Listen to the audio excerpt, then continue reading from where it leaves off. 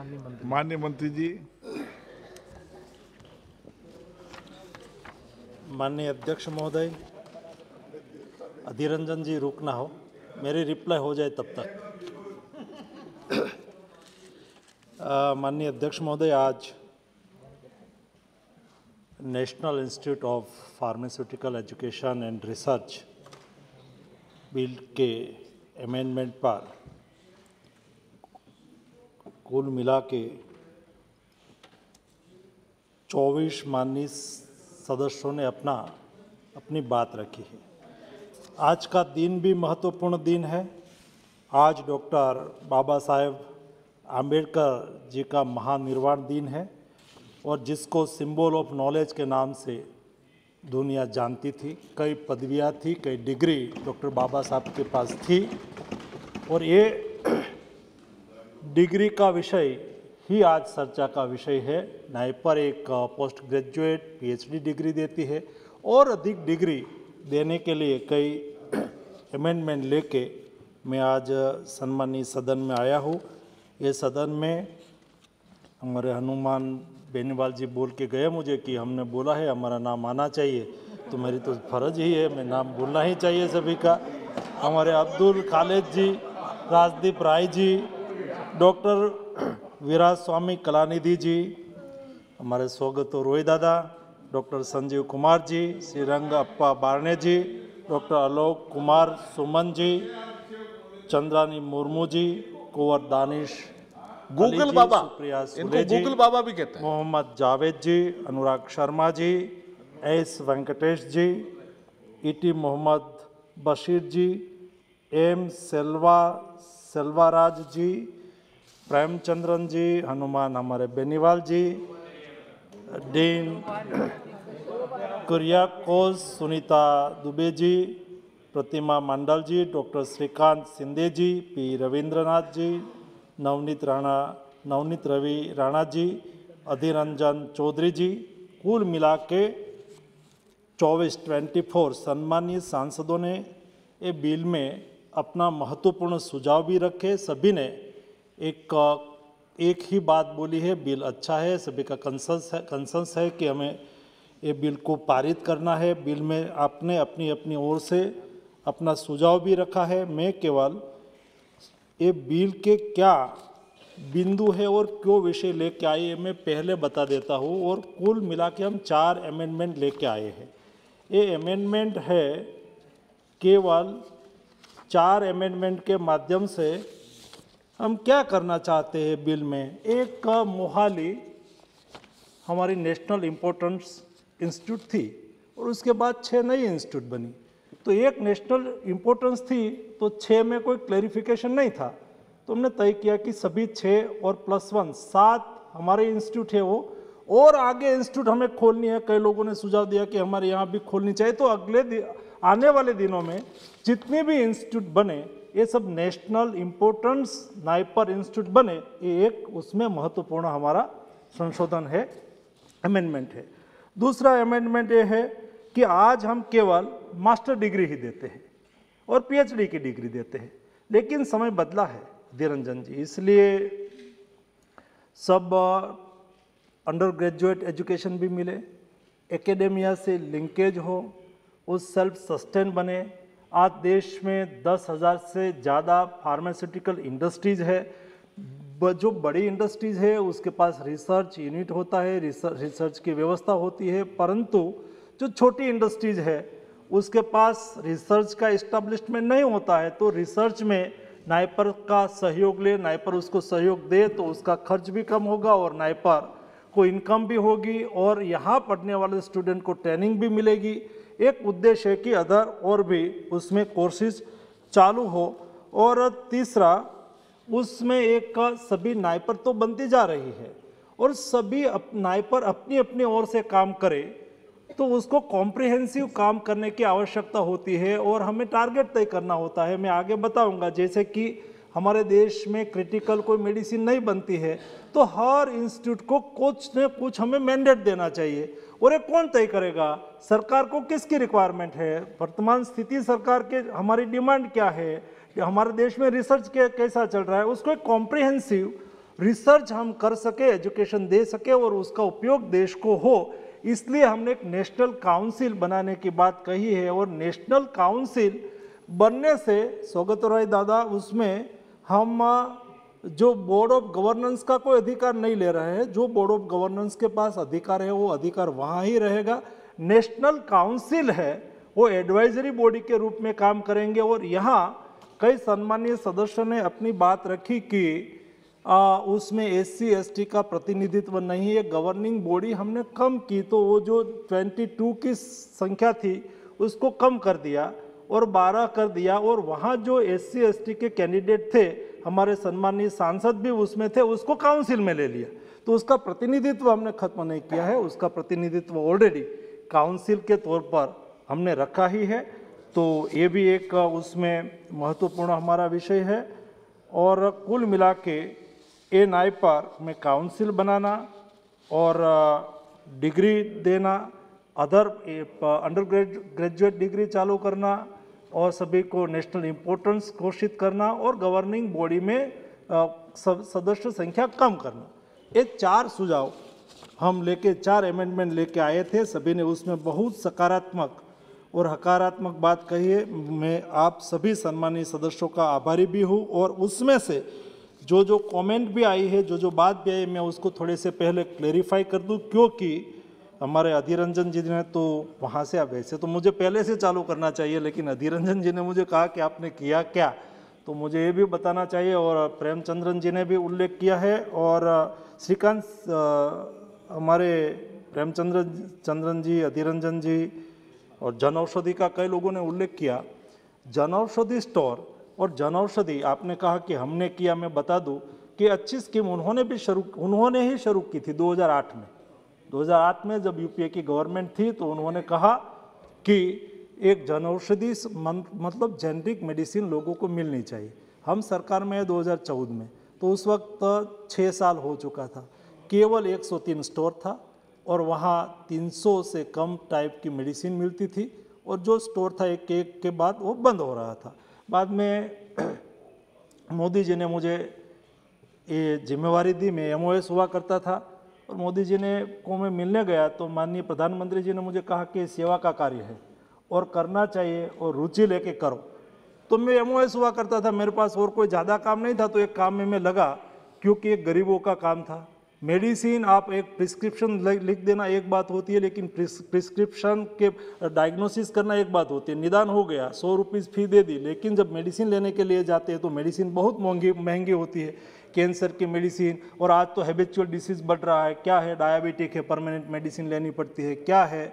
BP है permanent medicine लेनी पड़ती है। कैंसर पेशेंट है परमानेंट मेडिसिन लेनी पड़ती है। कार्डियक पेशेंट है परमानेंट मेडिसिन लेनी पड़ती है।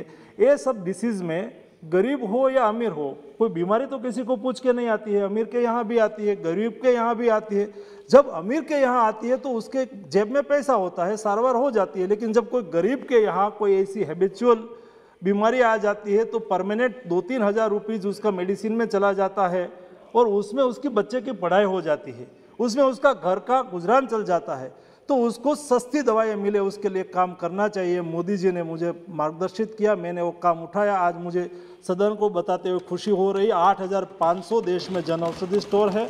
चौदह सौ अधिक टाइप की मेडिसिन वहाँ उपलब्ध हो रही है और चौदह से ज़्यादा और छप्पन से ज़्यादा मेडिकल डिवाइस उपलब्ध हो रहा है पर डे पंद्रह, दस से पंद्रह लाख लोग जन औषधि स्टोर पर मेडि मेडिसिन लेने जाते हैं। हमने ये किया है अधीर रंजन जी, हमने दूसरा ये भी किया कि यहाँ ये भी बात हुई कि जेनरिक मेडिसिन का व्याप बढ़ाना चाहिए, क्योंकि दुनिया क्या करती है, अपने यहाँ रिसर्च करके पेटेंट करके, महँगी उसकी ब्रांडेड मेडिसिन इंडिया में बेचती है और दुनिया हमारी जेनरिक मेडिसिन खाती है।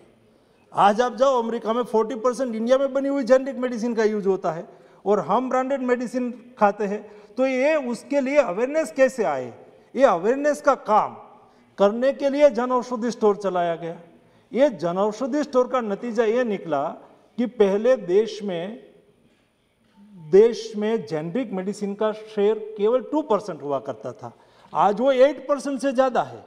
जेनरिक मेडिसिन का शेयर बढ़ने लगा, लोगों को सस्ती मेडिसिन मिलने लगी। मैंने एक स्टडी करवाई थी कि जन औषधि स्टोर के माध्यम से लोगों को कितना फ़ायदा हुआ। तो आकलन ये निकला कि प्रति वर्ष आठ हज़ार जन औषधि स्टोर से जो जेनरिक मेडिसिन सस्ती दवा मिलती है, कैंसर की कई मेडिसिन है। मार्केट में ब्रांडेड में एक का टैबलेट का दो सौ रुपीज़ तीन सौ रुपीज़ होता है। जन औषधि स्टोर पर जाते हैं तो पचास साठ रुपीज़ में मिल जाती है। कई लोग और लंबी लाइन लगी होती है। ये बात सही है कि कभी आप जन औषधि स्टोर पर गए कोई भी कोई भी फार्मेसी पर आप जाओ तो वहाँ हंड्रेड परसेंट मेडिसिन हो ऐसा ज़रूर नहीं है। आप कोई कार्डियक का डॉक्टर हो और उसके अगल बगल में कोई अ, मेडिकल स्टोर है तो वहाँ आपको कार्डियक के अनुरूप मेडिसिन वहाँ ज़्यादा उपलब्ध होती है। कोई एमडी डॉक्टर होता है तो वहाँ इस टाइप की मेडिसिन ज़्यादा होती है। हंड्रेड परसेंट मेडिसिन आप जो मांगो, वो ही मेडिसिन सभी जगह पे मिल जाए, ऐसा ज़रूर नहीं है। तो ये जन औषधि स्टोर पर भी मैं ऐसा नहीं दावा करता हूँ कि जो भी मांगे वो मेडिसिन लेकिन हमने प्रयास किया है कि देश के लोगों को सस्ती से सस्ती दवाएँ मिले और लोगों का जीवन सुनिश्चित हो, उसकी बीमारी में उसको उपयोगी हो। ये तो हमने अवश्य किया है। दूसरा, आपने हमारे श्रीकांत सिंधे जी ने भी अच्छी बात कही, आपने भी ये रेज किया। कि एपीआई हम दुनिया पर डिपेंडेंट नहीं होना चाहिए। ये हमें, क्योंकि देश में भी ये तो बहुत बड़ा 130 करोड़ की आबादी का हमारा देश है और हमें भी मेडिसिन की रिक्वायरमेंट है। इतनी आबादी हमारी, उसकी रिक्वायरमेंट के लिए मेडिसिन पर हम किसी के ऊपर डिपेंडेंट रह डिपेंडेंट रहे तो उचित नहीं। ये आप भी सोच सकते थे, आपकी भी सरकार थी। और एक तो मैं ये भी आपको बता दूँ कि ये सब पीएसयू मर मर के कब कब मर गए? हमने आके नहीं मारा, वो तो मरा हुआ ही था। हमने तो कोशिश की है कि उसको स्ट्रेटेजिक सेल करे और जो बचे उसको बचाए। हमारे सुप्रिया बेन ने कहा तो कि आप जो पिंपरी में पेनिसिलिन का प्लांट है, मैं प्राइमरी स्कूल में पढ़ता था, तब हम एक, हम इसको हमारा सिलेबस का पार्ट था कि देश में सबसे बड़ा पेनिसिलिन का प्लांट कहाँ है, कारखाना कहाँ है। तो हम लिखते थे कि पिंपरी में पेनिसिलिन का सबसे बड़ा, भारत में एपीआई पेनिसिलिन का प्लांट है। ये हमारी एक एक समय के लिए प्राइड थी, लेकिन ये क्यों मर गई? ये ये समय में मर गई जब दुनिया में ग्लोबलाइजेशन हुआ। और ग्लोबलाइजेशन में डब्ल्यू के अंतर्गत सारी दुनिया फ्री ट्रेड करने लगी। तो कई कंट्री ने ये ये मौके का फ़ायदा उठाते हुए अपने यहाँ बड़ी बड़ा कारखाना लगा दिया और सस्ते दाम में एपीआई बना के पेनिसिलिन का एपीआई बना के इंडिया में डम करने लगे। हमारी कंपनियाँ मरने लगी, उस वक्त जो आपने ध्यान रखा होता तो आज की स्थिति मरने की स्थिति नहीं आती होती, उस वक्त उसको कैसे रोके, ऐसा प्रयास करने की आवश्यकता थी नहीं हुआ? नहीं हुआ तो नहीं हुआ। हमने ये करने के लिए किसी ने ना नहीं कहा था। जब मोदी जी देश के प्रधानमंत्री बने, और मोदी जी ने मार्गदर्शन दिया कि ये एपीआई पर कितने ऐसे एपीआई है? आप आइडेंटिफाई करो, जिस एपीआई ये देश में ना हो और हमारे यहाँ फॉर्मुलेशन में दिक्कत आ जाए। तो ये ये तो बहुत क्रिटिकल स्थिति हो जाती है। हमारे यहाँ फॉर्मुलेशन इंडस्ट्रीज़ है, लेकिन उसको चलाने के लिए आपने कहा के चाहिए स्टार्टिंग की स्टार्टिंग मटेरियल चाहिए एपीआई चाहिए इंटरमीडिएट चाहिए, ये हम बाहर से लाए और बाहर वाला हमें देने बंद कर दे तो हमारी क्या स्थिति? उसको मद्दे नज़र उसको देखते नज़र, हमने उसके ऊपर डीपली काम करना शुरू किया और ऐसा 51 51 एपीआई आइडेंटिफाई किया। कि ये एपीआई 80 परसेंट से ज़्यादा दुनिया में से हम इंपोर्ट करते हैं। और ये हमारे देश में जो नहीं आएँगे, हम नहीं बनाएँगे तो कभी हमारे देश में मेडिसिन की क्राइसिस हो सकती है। उसको, ये ये विषय को लेते हुए प्रधानमंत्री जी ने कहा कि उसके ऊपर काम करना शुरू करो। माननीय अध्यक्ष जी, मुझे ये सदन को बताते हुए खुशी हो रही है कि ये 51 एपीआई इंडिया में बने। इसके लिए पीएलआई वन स्कीम निकाली, चौदह हज़ार करोड़ रुपया के सहयोग से। ये स्कीम से क्या किया? कि भाई, हमारे यहाँ ये एपीआई इंडिया में बनानी है और दुनिया में हमें उसके बीच में क्या वाइबिलिटी वाइबिलिटी गैप फंडिंग है? हम भाषण देंगे तो नहीं इंडस्ट्रियलिस्ट नहीं बनाएँगे। हम कितनी भी बात करें, लेकिन वो वाइबल होना चाहिए। मतलब हम उससे कब प्रोक्योर करेंगे? दुनिया से के मार्केट के बराबर मार्केट हम उसको मिले। कई ऐसे एपीआई है जो दुनिया से हमें, हमारे यहाँ मैन्युफैक्चर्स करे तो जो खर्च आता है उससे 20 परसेंट कम रेट में दुनिया से मिलते थे। तो ऐसे एपीआई पर हमने 20 परसेंट पीएलआई स्कीम के माध्यम से वो सौ रुपीज़ का बनाते तो बीस रुपीज़ हमने देने के लिए पीएलआई स्कीम में प्रावधान किया। कई ऐसे एपीआई थे, उसमें टेन परसेंट की कमी थी तो उस वाइबिलिटी गैप फंडिंग के लिए टेन परसेंट की आवश्यकता थी, उसमें हमने टेन परसेंट दिया। इतना ही नहीं ये उसको बनाने के लिए हमें फार्मा पार्क बनाने की आवश्यकता होगी, क्योंकि ये उसमें हेजार्डस इम्प्लूएंट होता है, जब एपीआई बनाने की बात होती है तो। तो उसमें क्लस्टर डेवलपमेंट और पार्क के माध्यम से डेवलपमेंट करना होता है। तो हमने देश में ऐसे चार फार्मा पार्क एक एक हज़ार करोड़ रुपीस के खर्च से फार्मा पार्क बनाने के लिए तय किया, जिसका उपयोग करके हम देश में बल्क एपीआई मैन्युफैक्चरिंग कर सके। हमने ये किया है। अधीर रंजन जी, हमने ये किया है। हम रुके नहीं हैं। हम एक किया है देश को, भविष्य में ऐसा कोई संकट का सामना ना करना पड़े और देश की जरूरियात देश में ही पूरी हो जाए। हमने ये भी किया। एपीआई पीएलआई वन स्कीम निकाली चौदह हज़ार करोड़ की। बाद में हम हम वहाँ तक नहीं रुके। हमने कहा कि देश में एपीआई का प्रोडक्शन हो, इतना ही नहीं। हमें फार्मेसी ऑफ़ द वर्ल्ड बनना है। हमें केवल उत्पादन ही करना, ऐसा हमारी ज़रूरियात ही पूरा करना, ऐसा नहीं।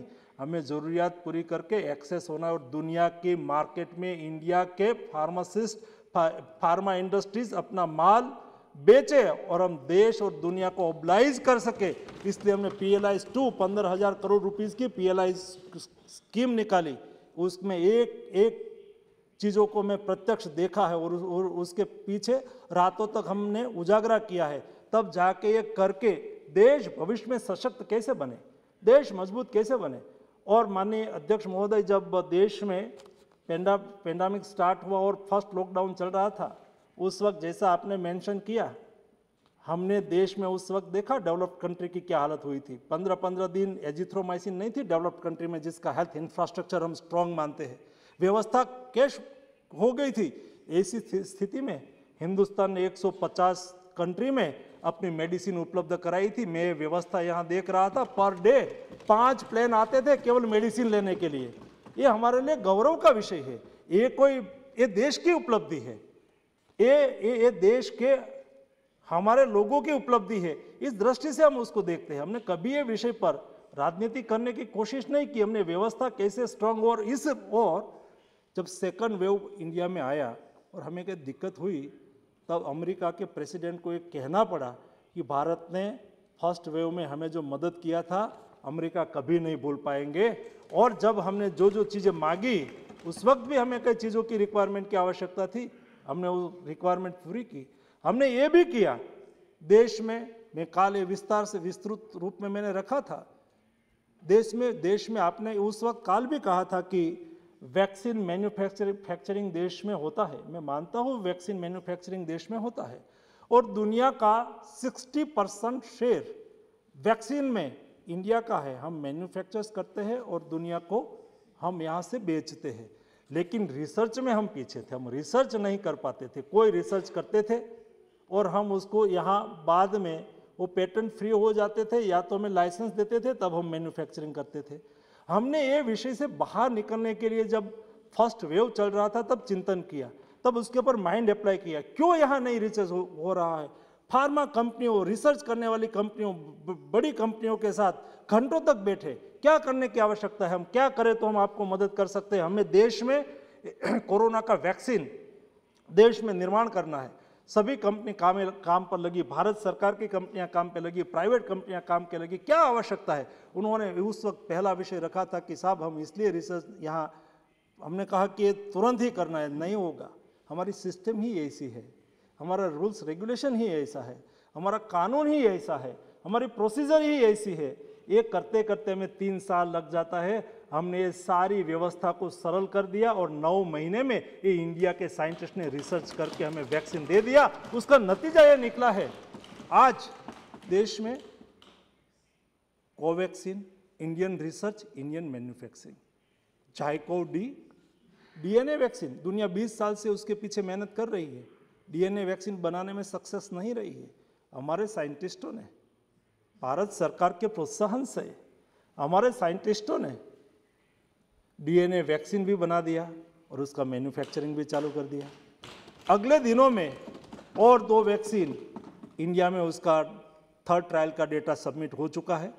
हम अपेक्षा करते हैं कि वो डेटा और उसकी ट्रायल सक्सेस रहे तो और दो कंपनी इंडिया की ही इंडियन रिसर्च इंडियन मैन्युफैक्चरिंग आएँगे। वो आज के लिए कभी मेडिसिन को, दवाई को भारत ने कभी कारोबार और बिज़नेस की दृष्टि से नहीं देखा है। वसुदैव कुटुंबकम की हमारी संस्कृति और हमारी परंपरा है। हमने उसको कभी बिज़नेस बाद में बाद में देखा है सेवा पहले देखी है। दुनिया को मदद करना, ये भारत का भारत की रीति नीति कार्य पद्धति रही है। हमने हमारी जरूरियात पूरी की, इतने से ही हमने ऐसा नहीं सोचा कि हम एक एक दो कंपनी बना ले और हमारी रिक्वायरमेंट पूरी हो जाए वैक्सीन ज़्यादा बनाने की आवश्यकता नहीं है। हमने सोचा है वसुधैव कुटुंबकम, हमें हमारा भी ख्याल रखना है, हमें दुनिया को भी मदद करना है। हम तो लाभ शुभ की संस्कृति वाले लोग हैं। हम लाभ की भी बात करते हैं, हम अपनी तो बात करते हैं, लेकिन हम शुभ दूसरे लोगों की भी, दूसरे के कल्याण की भी भावना को भी समझते हैं और उसको भी मदद करते हैं। और इसलिए आज दुनिया हमारे साथ, हमारे पास वैक्सीन के लिए दुनिया की कंट्री वैक्सीन मांग रहे थे। लेटिन अमेरिका और कैरेबियन कंट्री समूह के राजदूतों, पच, ट्वेंटी नाइन, उनतीस राजदूत ने इकट्ठा होकर मुझे बुलाया और उन्होंने कहा कि हमें वैक्सीन चाहिए। मैंने कहा, हमारे पास वैक्सीन एक्सेस है, हमारा एक्सेस वैक्सीन हम आपको अवश्य देंगे। मोदी जी ने कहा है कि हमें दुनिया को मदद करनी है और आज दुनिया में भारत का वैक्सीन एक्सपोर्ट होने लगा है। हमने उसमें कोई जगह पे आपने देखा होगा जब पहली बार मैंने ये स्थिति, जब राज्यसभा में कोविड पर डिस्कशन चल रहा था, तब जेली है। उस वक्त ये बोलते थे कि वैक्सीन आपने एक्सपोर्ट कर दिया छः करोड़ डोज वैक्सीन एक्सपोर्ट कर दिया, हम नहीं एक्सपोर्ट करना चाहते थे। उसकी लाइफ लाइन शेल्फ लाइफ होती है। वो छः महीने में एक्सपायर कर जाता है, नौ महीने में एक्सपायर कर जाता है। यहाँ तो ये बूम चल रही थी, ये मोदी वैक्सीन है, मत लो। ये बीजेपी का वैक्सीन है, ये मोदी वैक्सीन क्यों नहीं ले रहा है? ये वैक्सीन सही नहीं है। और वैक्सीनेशन के संदर्भ में इतना ह्यूमर फैलाया जा रहा था, ये स्थिति हो गई थी। देश में कंपनियों के पास वैक्सीन पड़ा था, हम यूज़ नहीं करते थे तो क्या करना बताओ, माननीय अध्यक्ष महोदय? ये स्थिति में हम वैक्सीन तो हमें आपने वैक्सीन एक्सपोर्ट क्यों कर दिया? ये हमें झेलना पड़ा। तो ये स्थिति में और दादा, बंगाल में माननीय अध्यक्ष महोदय, माननीय अध्यक्ष महोदय, दादा के दादा के राज्य में भी वैक्सीन पड़ा हुआ है। दादा के दादा के स्टेट में भी वैक्सीन पड़ा हुआ है। सभी स्टेट में आज 20 करोड़ से अधिक डोज देश में उपलब्ध है। जहाँ जिसको कैंपेन चलाना हो, जनता को मदद करने की भावना हो, हम, हमें क्रिटिसिज्म क्रिटिसाइज करें हमें कोई दिक्कत नहीं मोदी जी के प्रति तो जो कहते हैं, वो हर दिन उठ के कहते ही रहते हैं। हमें कोई मोदी जी उसको कोई प्रत्युत्तर नहीं देते हैं। लेकिन अपने अपने क्षेत्र में आपको वैक्सीनेशन ड्राइव चलाने के लिए हम नहीं रोकते हैं। वहाँ वैक्सीन पड़ा हुआ है। कृपया करके आप जाइए। जोश से एक एक बार अपने क्षेत्र में मीटिंग कर करके चलो। अभी नए कोई वेरिएंट आए उसके पहले हम वैक्सीनेशन आपके डिस्ट्रिक्ट में भी पड़ा हुआ है। तो तो और दूसरा, एक कुल मिला के हमने देश में मेडिकल डिवाइस आज जो उसमें एक अधीर रंजन जी में करेक्शन करूँ एपीआई नहीं, हमें मेडिकल डिवाइस 70 परसेंट आज के दिन में इंपोर्ट करना पड़ता है। तो उसके लिए भी इंपोर्ट क्यों करना पड़ता है, उस पर मैं मैं नहीं जा रहा हूँ। पिछले हुआ होता तो हमें इतना नहीं करना पड़ता कम करना पड़ता।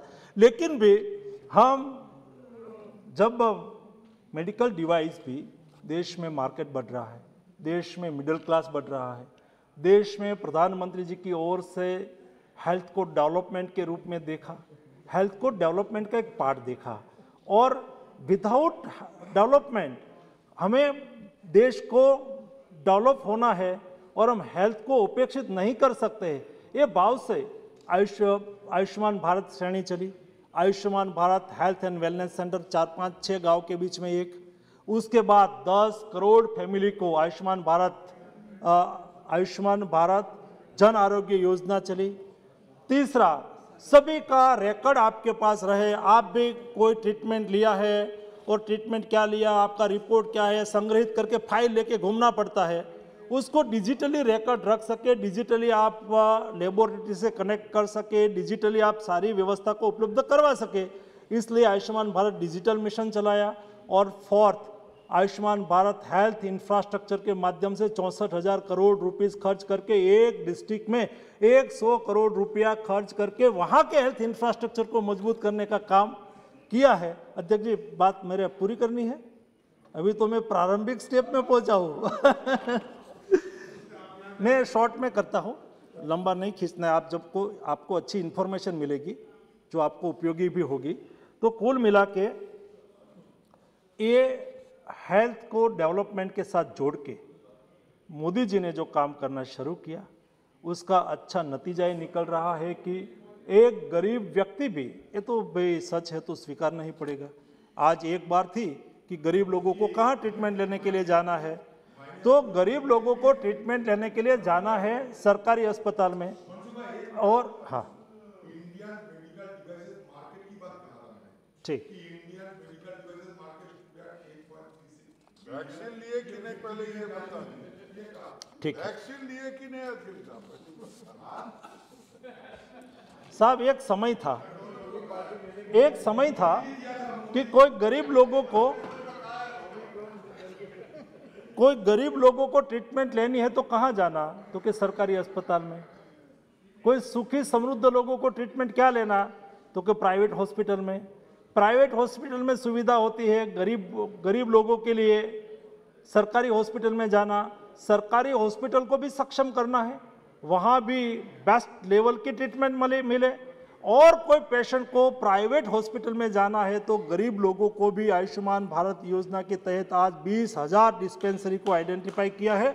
वहाँ एक बेड अमीर लोगों का होता है और बगल का बेड एक यहाँ जो पिछड़े वंचित लोगों की, गरीब, पिछड़े वंचित लोगों की दानिश भाई ने बात की ना, ये हमने किया है भाई। उसके लिए क्या करना चाहिए, उसको हमने दर्जा एक अमीर के बराबर दिया है और उसके लिए सुविधा दी है।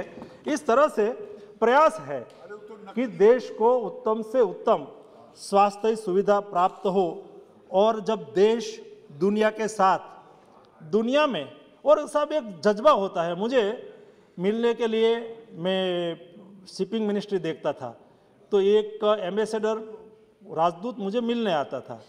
तो उन्होंने एक बार बात बात में मुझे कहा कि मुझे आपको मिलना अच्छा लगता है। तो मैंने कहा, क्यों मुझे मिलना अच्छा लगता है? मेरे मेरे मन में इंतजारी हुई कि वो अपने काम से आते थे। तो उन्होंने कहा कि, आप एम्बेसडर में चलते हैं ना? तो मैंने कि, मैंने सोचा कि उसमें क्या हो गया? मुझे अलॉट की थी एम्बेसडर तो मैं एम्बेसडर से चलता था। एम्बेसडर मैंने कहा कि मैं एम्बेसडर लेके मुझे प्रोवाइड की है शिपिंग मिनिस्ट्री ने तो लेके चलता हूँ। लेकिन बाद में उन्होंने कहा कि ये टेक्नोलॉजी हमारी है। उसका उसको गौरव होता है। जब हमारी इंडस्ट्रीज़ दुनिया में मेडिसिन सप्लाई करती है, हम कोई देश में दुनिया में जाए और वहाँ made make in India made in India लिखा हो, हमें गौरव महसूस हो कि ना हो। माननीय अध्यक्ष महोदय देश को गौरव कैसे प्राप्त हो?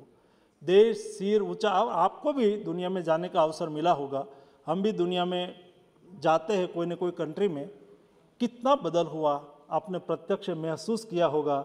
आज इंडिया के कोई नागरिक दुनिया में सिर खड़ा करके रखने का गौरव ये तो मोदी जी ने ही दिया है वो तो मानना पड़ेगा। वो तो मानना पड़ेगा। माननीय अध्यक्ष महोदय कहने के लिए तो बहुत कुछ है, लेकिन ये बिल कुल मिला के एक चार अमेंडमेंट थे, जो मैं, मैंने आपके सामने रखा। और जब यहाँ स्टैंडिंग कमेटी की सिफारिश मिली थी, ये सिफारिश भी हमने मान ली है कई, और जो सिफारिश नहीं मानी है, या तो हमने ये, ऐसी ही है, ये मैंने प्रत्यक्ष देख लिया है उसको, और नियम में रूल्स रेगुलेशन रूल्स जब बने तब उसको हम ऐड कर सके। क्योंकि ये कोई ऐसा विषय नहीं था कि हम नहीं माने मा, माने। बीसी बीसी मैं बता दूँ बता दूँ सर बता दो। Yes sir yes yes yes मैं बता दूँ एक बार मेरा पूरा हो जाने के साथ में रिप्लाई आपको रिस्पॉन्ड भी करूँगा। रिस्पॉन्ड भी करूँगा। मैं दादा रिस्पॉन्ड करूँगा। बंगाल केमिकल्स में आपने जो एक वहाँ नाइपर की भी बात की और मैं चाहता हूँ कि बंगाल केमिकल्स के पास लैंड है। वहाँ नाइपर को मैं लैंड देने के लिए जा रहा हूँ। मैं उसमें आपका सहयोग भी मांगूँगा। थोड़ा सहयोग की आवश्यकता है, आप मुझे थोड़ा कर दीजिए। तो ये वहाँ उसको कैंपस मिल जाए। वहाँ उसको कैंपस मिल जाए, ये भी बहुत ज़रूरी है, क्योंकि और उसका स्ट्रेटेजिक सेल है, उसको 100 परसेंट सेल नहीं करना है। टेट- उसकी लाइबिलिटी है, वो ख़त्म करनी है, आपके ही एम्प्लॉयज़ है कई यूनियन वही यूनियन मेरे पास आते हैं, उसकी, उसको पैसा देना है। तो उसको स्ट्रेटेजिक सेल करके बंगाल केमिकल्स का स्ट्रेटेजिक सेल करना है हिंदुस्तान एंटीबायोटिक्स का भी स्ट्रेटेजिक सेल करना है, केवल। लेकिन भी आज तक कोई एम्प्लॉयज़ को हमने एडिशनल पैसा दे दे के किसी को सैलरी के बिना नहीं रखा है। हम जानते हैं, समझते हैं उसकी फैमिली उसके ऊपर डिपेंडेंट होती है और फिर से उसको स्ट्रेटेजिक सेल करके अच्छी तरह से कैसे चले इस दिशा में हमें मिलके साथ में प्रयास करना है। इन चीज़ों से बिल का क्या संबंध है? हैं? जो ये पूछ रहे हैं इससे बिल का क्या संबंध है मुझे बताओ। नहीं कोई संबंध नहीं अध्यक्ष मैंने जो बिल देखा इससे इनका कोई संबंध नहीं। ये तो अध्यक्ष जी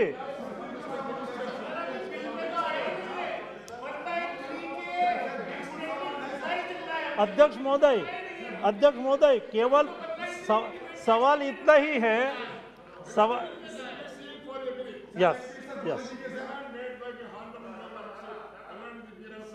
yes I giving you. and Kunnur unit. Have not I I giving you reply. इससे वैक्सीन यूनिट से क्या संबंध है इस बिल का? क्यों जवाब दोगे आप? अध्यक्ष महोदय उसमें सवाल ऐसा है सवाल दूसरा कुछ नहीं, मैं भला आदमी हूँ ना तो मैं रिप्लाई दे देता हूँ तो मुझे पूछ लेते हैं। बाकी तो मैं ऐसा करके कह भी देता हूँ कि ये पार्ट नहीं है आपका, लेकिन थोड़ा सीधा आदमी हूँ तो जो पूछे उसको रिप्लाई दे देता हूँ। और उसमें चंगलपेट चंगलपेट में माननीय अध्यक्ष महोदय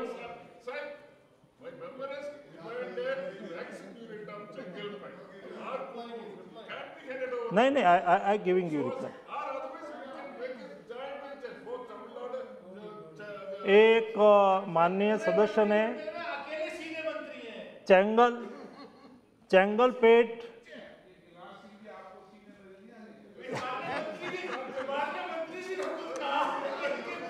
चंगलपेट में एक छः सौ रुपये से, रुपया से ज़्यादा खर्च करके एक वैक्सीनेशन यूनिट बना रहे थे कई कारण थे उसमें और इंफ्रास्ट्रक्चर रेडी हो गया है। हम दो तीन ऑप्शन पर काम कर रहे हैं। मैं इतना पक्का क, ये सदन के हाउस हाउस में कहना चाहूँगा कि हम चालू करेंगे। हमें आवश्यकता होगी तो स्टेट गवर्नमेंट का सहयोग लेंगे। ये नेशन इंटरेस्ट का काम है। ये कोई मेरा के स्टेट गवर्नमेंट का विषय नहीं है। और उसको कैसे करें हम एनालिसिस कर रहे हैं। करना है करेंगे। वहाँ उसको बंद नहीं कूनूर का मुझे पता कूनूर का मुझे पता नहीं है, मुझे चैंगल पट्टू का पता है, मैं चैंगल पट्टू का करूँगा। और अध्यक्ष महोदय, ये से vaccination production, vaccine production India में हो, ये दुनिया भी चाहती है। और हमें करी, क्योंकि 18 डॉलर का 17 डॉलर का 20 डॉलर का वैक्सीन, और इंडिया का 3 4 डॉलर का वैक्सीन है तो दुनिया को सस्ता मिलता है। और ये हम कर सकते हैं। तो माननीय अध्यक्ष महोदय, मैंने ये चार, केवल चार अमेंडमेंट लेके मैं आया हूँ। सभी लोगों ने उस पर मुझे सहयोग किया है। इसलिए मैं सभी माननीय सदस्यों का आभार व्यक्त करता हूँ और आप सब उसको यूनानिमसली पास करें, ऐसी मेरी रिक्वेस्ट है।